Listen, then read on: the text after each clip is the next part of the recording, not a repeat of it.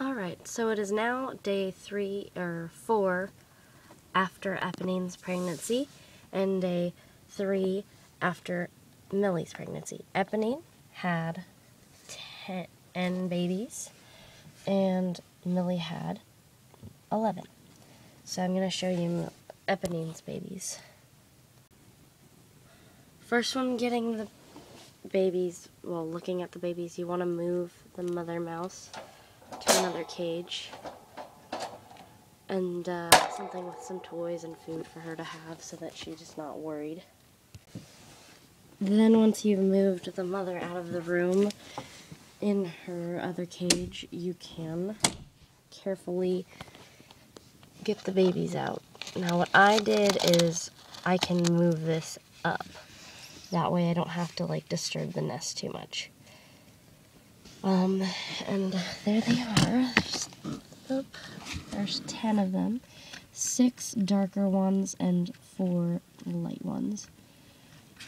I don't think any will be white because the father was gray and the mother was black, so pretty sure that's not happening, but we'll see.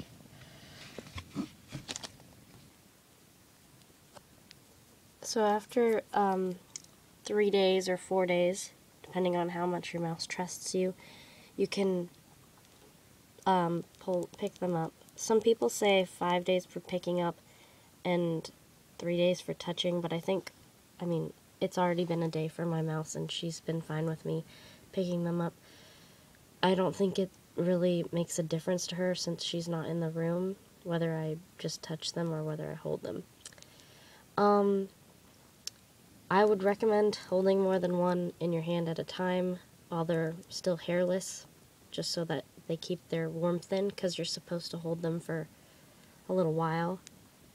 But not, not a long, long time, but maybe like 10 minutes a day for the first couple days.